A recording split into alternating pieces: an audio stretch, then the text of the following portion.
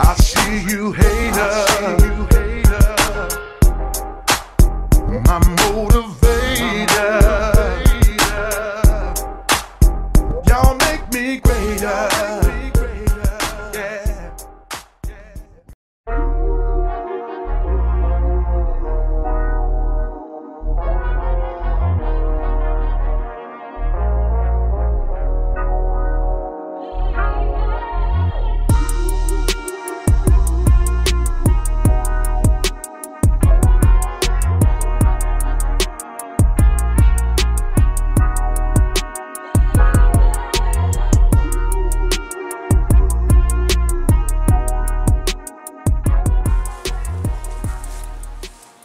Video here, I'm gonna show you how to scuff and shoot a car with no body work or light body work. We're gonna go through the steps. Me and my son here, little savvy. The first step I'm doing on getting a good paint job is actually taking everything off. I know it might be time consuming trying to take all this stuff off and a lot of folks will just start sanding on it then you'll wind up sanding on stuff you don't want sanded. So that's what we're gonna do first. We're gonna take everything off, then we'll take it from there. Okay, now I got a little savage trying to remove these emblems. Even if you get a little scratch on it, it ain't gonna matter because we gotta sand it anyway, but keep it flat. Look, go that way because if you slip, you're gonna mess that up. You know, go.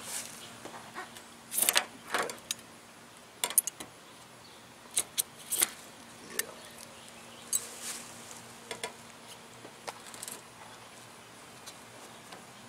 You don't want to crack it now. Take your time. I gotta go from this side. Man, I worked at Polaris, man. Okay. I would have had the tag by now. Extra, extra careful. See, you playing. You gotta be extra careful, man.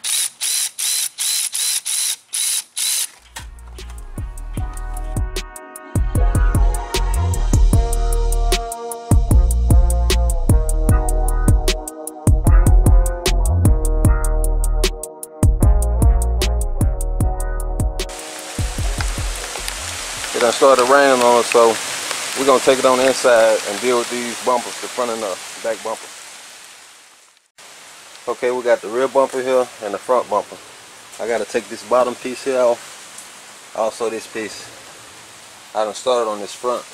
I got the bottom and the bottom grill off. Now I'm working on this headlight bezel piece.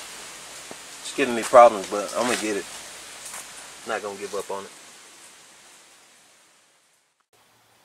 Finally got all the pieces off that I was trying to get off.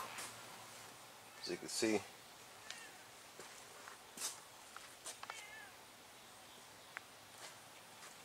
I know taking all this off is time consuming, but it's well worth it. Because you can get paint in areas that you can't if you don't take it off. Such as up in here.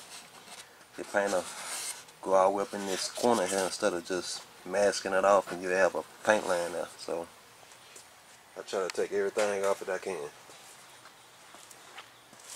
And this car here, it had been painted before. See, I might can show you. I can show you once I get outside before it's on the car. Let me take you out there and show you what all I took off out there. See the front bump off. All the emblems. Rocker panel the molding, mirrors. The only thing ain't off, well, my son unlocked the door, but we didn't take the quarter glass off in this trim here. It's got it got rivets on. I can take it off, but I think I'm just gonna mask that up.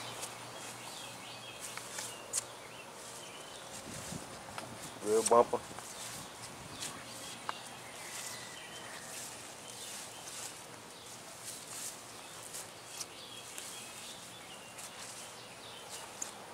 I got all the pieces over here with most of them. Some of them in the trunk. Some interior pieces. Tail lights. The heat shield up under the hood. the fender liners for the back, mirrors, tail lights.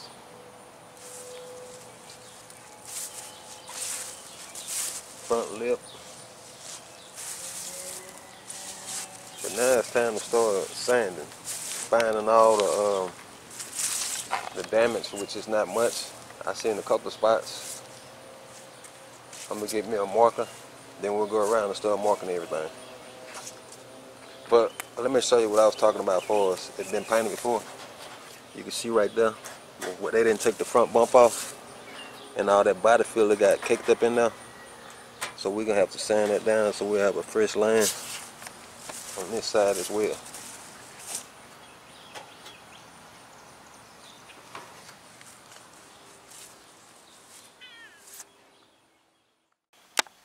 Just put it on the inside. Now we're going to go around. We got a Sharpie. We're gonna mark all our spots. I see a push out right here. Let me see if I can find it again. It's right here. I'm not sure if you're seeing it.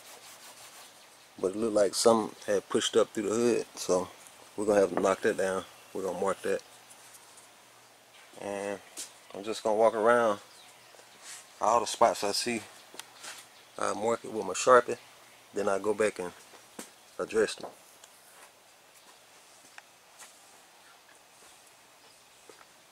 Seeing a spot back here. Right here.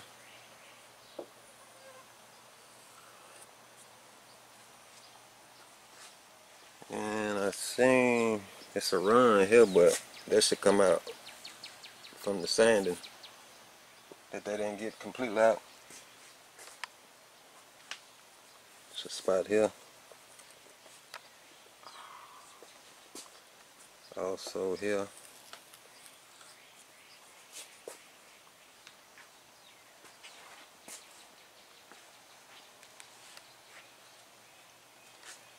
seen a few more, but I just go around, make sure I get everything.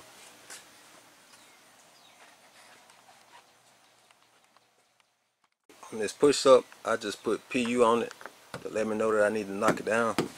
I'm gonna take my body hammer and I'm gonna tap on it, lightly tap on it, get it below the surface.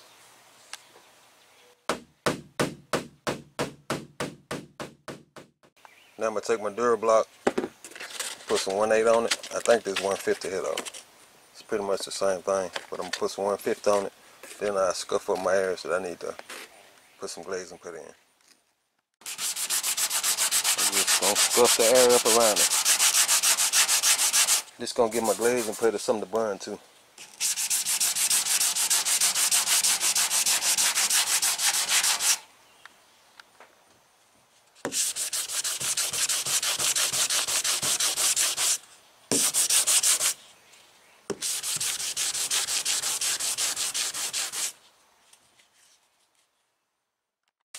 Once you scuff it up, get your blow hose and blow it off.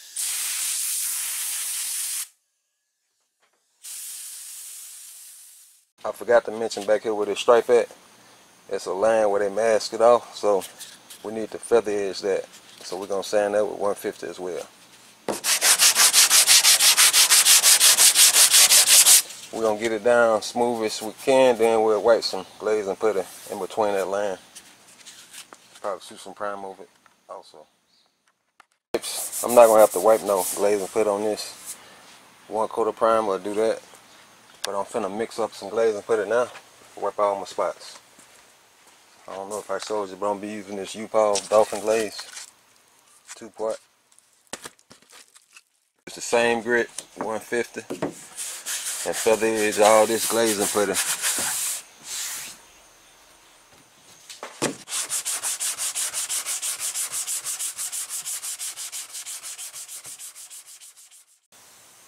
Blocking all my areas. Now we need to blow this off once again.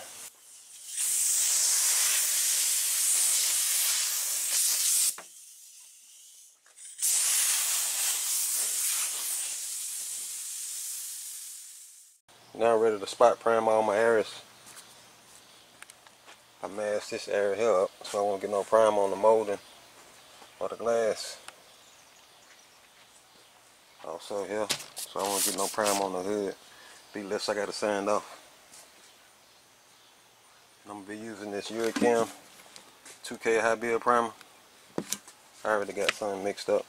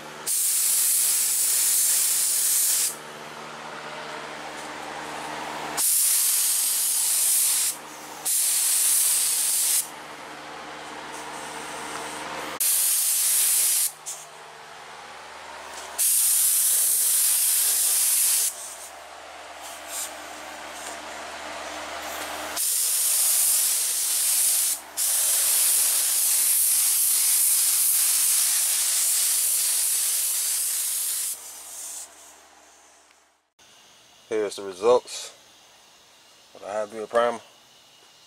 I'm gonna let this dry overnight, but I'm gonna spray some guide coat on it. So in the morning, I'll just be ready to start wet sanding. So let me spray this guide coat. I'm just gonna lightly mist it on. Just on my repairs.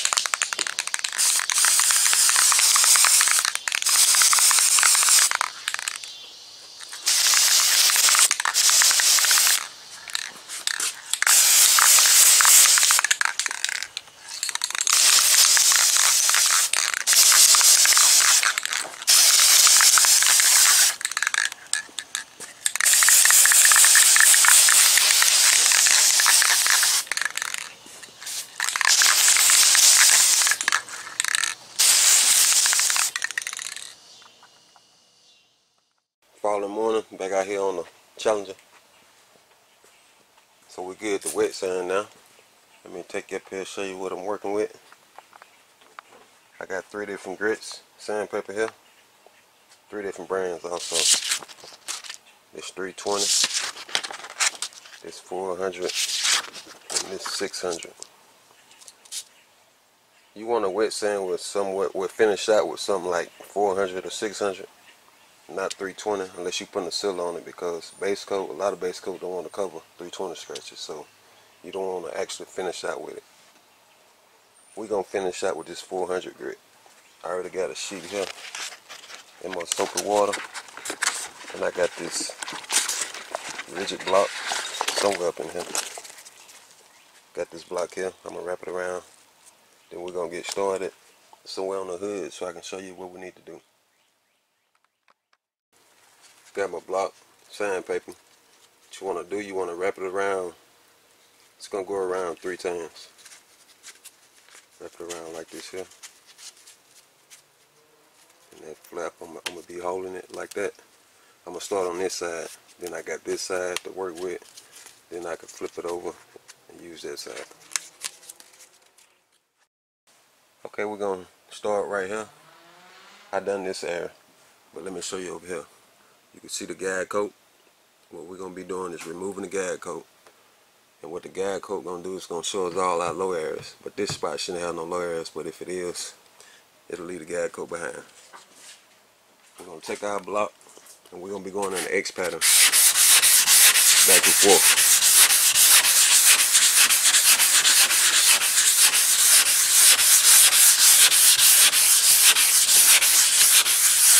Let me wipe this area it's not flat, but I'm going to wipe it and show you what we're looking for. You can see guide coat still here, there, there, there. That means we got to keep on blocking, come down some more. What we need, what we looking for for this gray, let show you right here. It need to look like this here, where you don't see no guide coat. This feather edge around the edges here.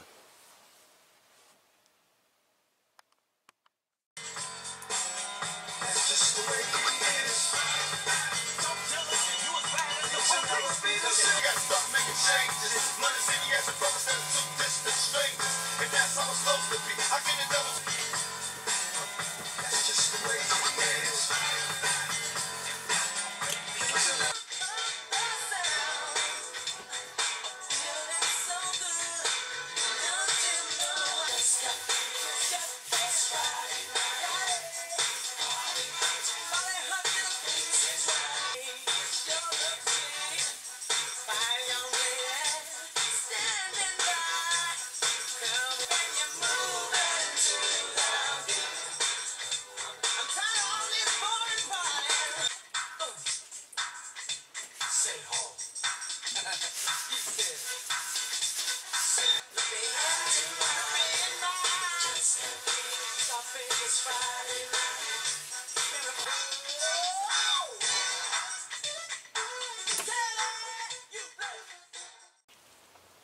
All my repair is sanded with the 400 grit wet sand. See how feather is this here? Now we're going to sand the whole entire car, but we're not going to do it by hand. We're going to do it with a DA. Show you what we're going to be using. It's going to be a lot faster than doing it by hand. We're going to be using my Bigfoot Duetto. Got a 12 millimeter throw. Or you could use air, but I like using electric. And the sandpaper we're going to be using is this Mirka 400 grit. It's a net.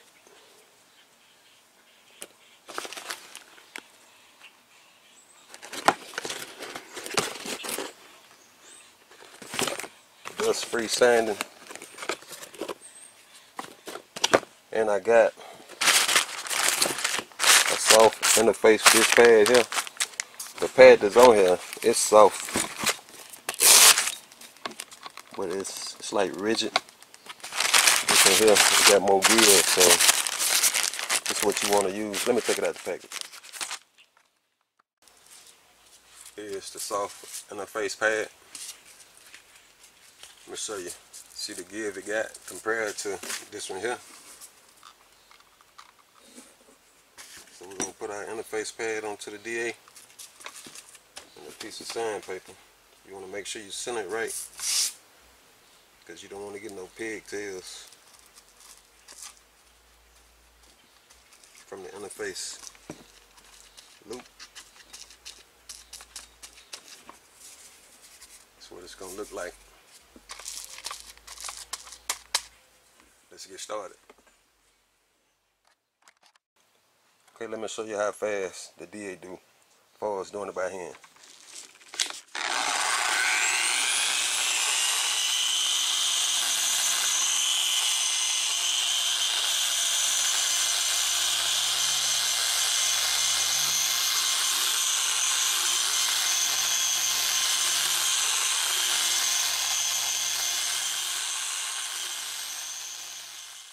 Okay, we got this section here done. You see that didn't take no time. And on your corners and edges, you want to take you some Scotch Brite and do that. You could do it before you start doing the flat areas or you can do it after. Like around here. Because you're not going to be able to get the DA off your nose areas. So you got to do those by hand. It's good for doing door jambs as well. Also around the lock area or the door handle area. Just got to cut them areas in by hand. So let me finish up with this DA. Then I'll cut you back on, show the results.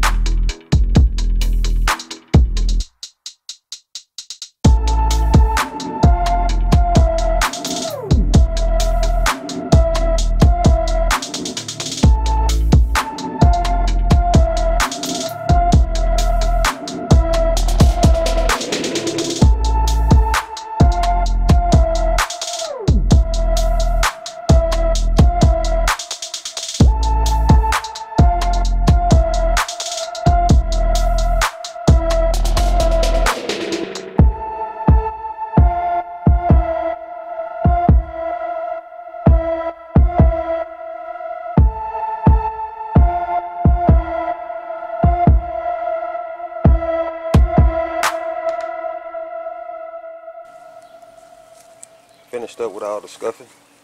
For 400 grit on a DA. Probably use about half of the box. Come with 50 sheets. And on the door jambs, I'll be using this maroon Scotch-Brite. I also could use the used sheets that I use, just fold them up just hit the jambs. But let me walk you around the car.